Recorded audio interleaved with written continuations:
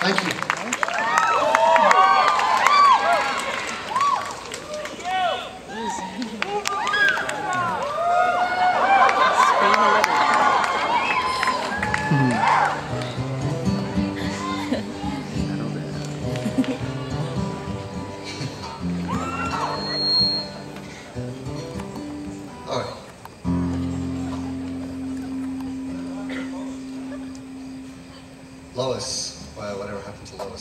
Well, I mean, without telling the whole story, I'm kind of just talking to you. She's fine. She got in touch. She lives in New York. She's in good form.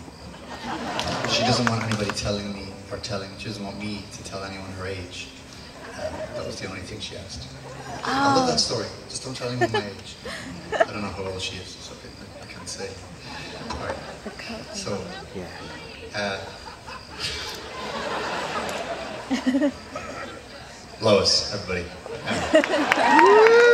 Well, okay, I'll, I'll tell you very quickly. Lois is a lady that we were in Chicago, maybe we were in Chicago maybe uh, maybe six months ago now, and we were we were staying at this hotel, and I got into the elevator just to go down to check out, and this lady stepped into the elevator a few floors down, and she came in with her suitcase, and she was wearing this like really oversized duffel coat with the hood up, and she had this she had this amazing sort of uh, like sort of swish of grey hair that came out of the hood, and when she turned her head inside the hood, you couldn't see her face. She would sort of disappear, and I just I sort of instinctively said, "I like your coat," and she was like, "You like this coat?" I said, yeah, and she, turned, she disappeared. Uh, all you could see was a bit of just a little bit of a nose sticking out. And I was like, yeah, it's beautiful and it looks really good. She said, I love this coat. Was, a gorgeous kind of dark blue. It was like a Paddington bear coat. And uh, she said, I love this coat. And I was like, it's great and it really suits you. She said, you know, I saw this coat in a shop and I thought, fuck it, I'm gonna buy that coat. and I'm gonna, I'm gonna live my life. And I, was like, wow, I'm, I'm really glad I noticed it. It's, it's good, it really suits you. She was like, thank you.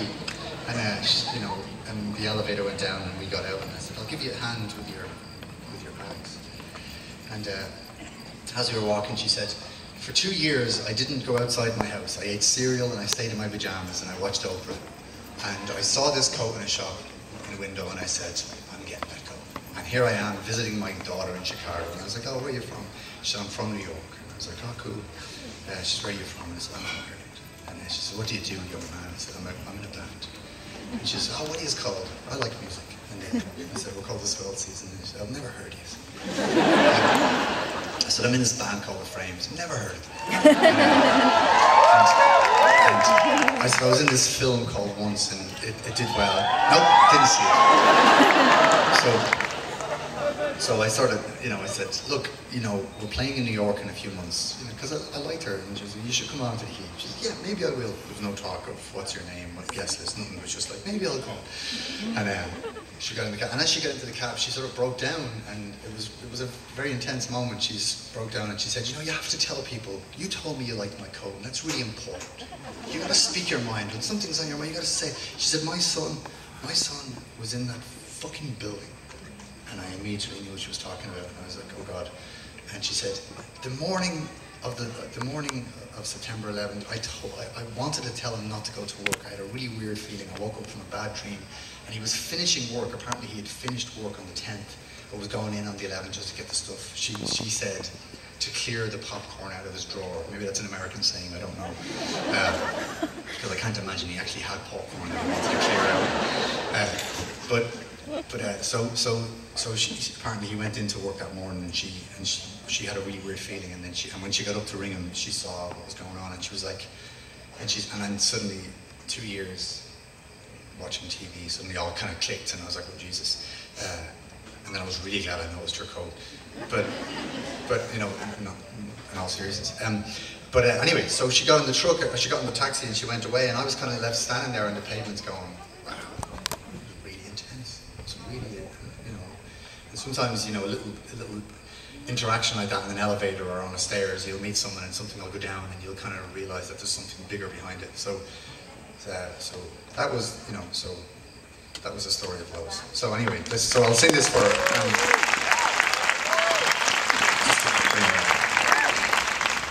nice lady.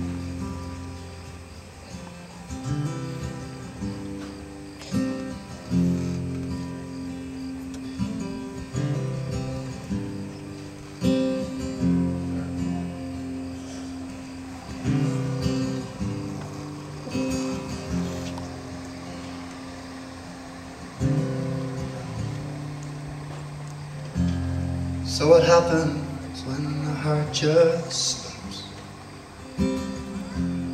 Stops caring for anyone. The hollow in your chest dries up and you stop believing.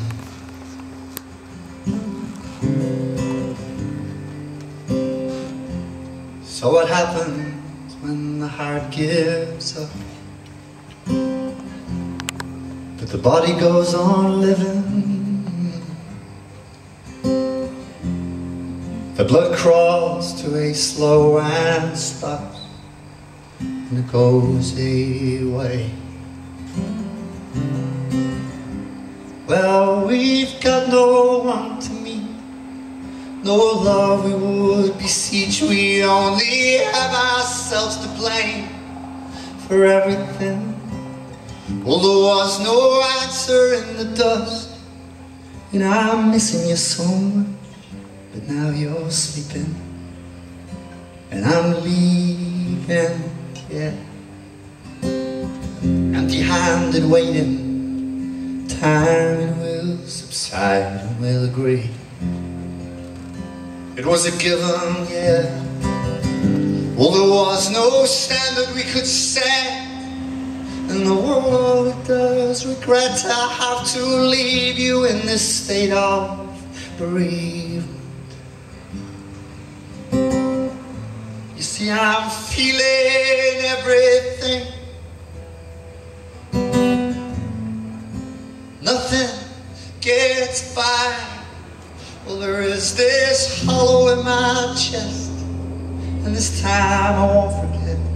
There is no comfort in the eyes that put us always to the test. I can't prepare myself for that, but I'll work it out in time. There is a love that flows between us, ever changing every day.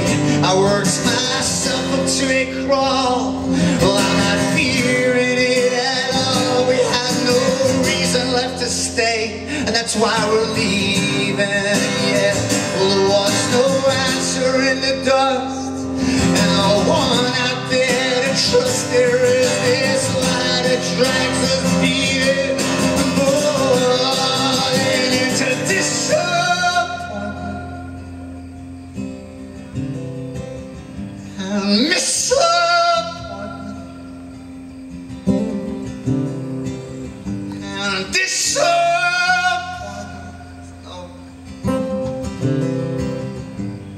and disappointment.